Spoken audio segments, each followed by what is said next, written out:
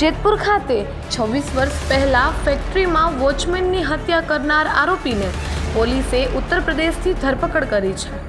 પ્રાપ્ત વિગત અનુસાર, રાજકોટના જેતપુર ખાતે છવ્વીસ વર્ષ પહેલા ફેક્ટરીમાં વોચમેનની હત્યા કરી અને લૂંટ કરીને ભાગી ગયેલા આરોપીને ઉત્તર પ્રદેશના ચિત્રકૂટ જિલ્લામાંથી સુરત પીસીબી પોલીસે ઝડપી પાડ્યો છે.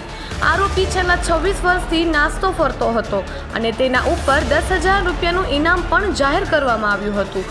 પોલીસે આરોપીની ચિત્રકૂટ જિલ્લાના દદુઆ ડાકુના વિસ્તારમાંથી જીવના જોખમે પકડી પાડ્યો હતો. આરોપી છવ્વીસ વર્ષ પહેલા રાજકોટ જેતપુર વિસ્તારમાં ટાઇલ્સના કારખાનામાં કામ કરતો હતો.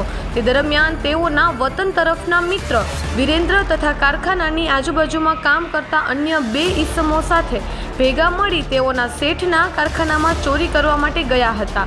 આ દરમિયાન વોચમેન આવી જતા તેઓએ વોચમેનના હાથ પગ બાંધી પથ્થરથી મોઢાના ભાગે મારી તેની હત્યા કરી હતી અને બાદમાં તે નાસી જતા સુરત પીસીબી પોલીસે આરોપીનો કબજો મેળવી જેતપુર પોલીસને કબજો આપતા જેતપુર પોલીસે આગળની કાર્યવાહી હાથ ધરી છે.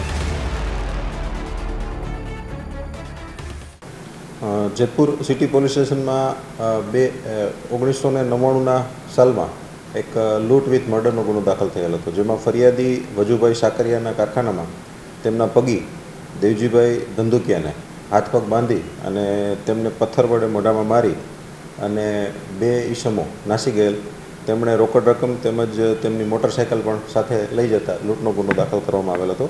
અને જે ભોગ બનનાર છે, એ પણ મરણ જતા ત્રણસો બેનો ગુનો દાખલ કરવામાં આવ્યો હતો.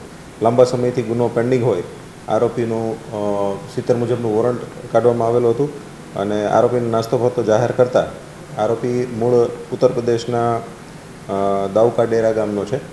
તેમને ત્યાંથી ઉત્તર પ્રદેશથી પકડી અને અત્રે લાવેલ છે અને એમના વિરુદ્ધ ધોરણસર અટક કરી અને તેમની રિમાન્ડની માંગણી કરતા તેમને ચાર દિવસના રિમાન્ડ મંજૂર કરવામાં આવે છે. જે આરોપી છે એ લાંબા સમયથી નાસ્તો ફરતો હતો એટલે એમના ઉપર દસ હજાર રૂપિયાનું ઇનામ પણ હતું અને તેમનો જે પકડવા જવાનો જે વિસ્તાર હતો એ પણ ખૂબ માથાભારે વિસ્તાર હતો. ત્યાંથી પણ પોલીસ જે ત્યાં જઈ અને તેમને ઉપાડી લાવી છે અને તેમની ધોરણસર ધરપકડ કરી અને એમની રિમાન્ડ લેવામાં આવી છે.